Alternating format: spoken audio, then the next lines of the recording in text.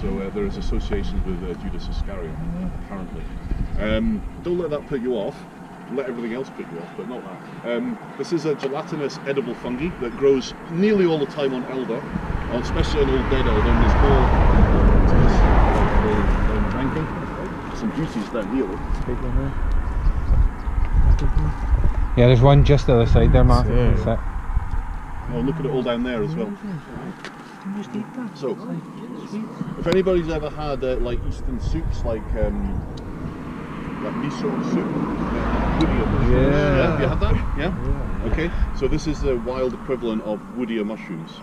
It is uh, interesting in that it hits a couple of flavour spots that um, we don't really have. Pass it around. Pass it Hang around. on, Alex. and, uh, It hits a couple of uh, hits a couple of, and you can actually eat this raw if you're feeling adventurous. You're gonna be a It hits a couple of flavour spots that we don't have a place for in Western food. It's both gelatinous and crunchy. like that. It doesn't have much Right. flavour of You can really eat that, yeah.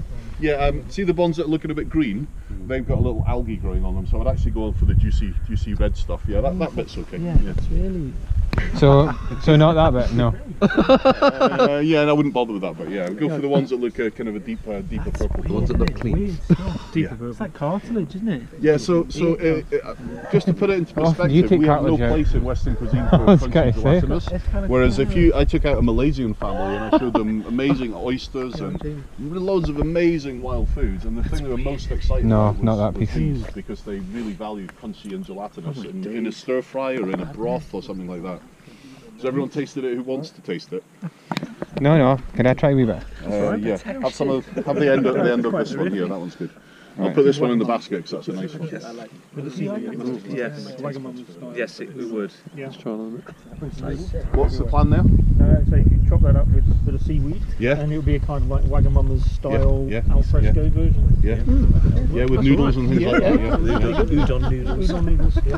Why is that? The other thing you can do with it. Like tuna, yeah. How often do you tune people's ears?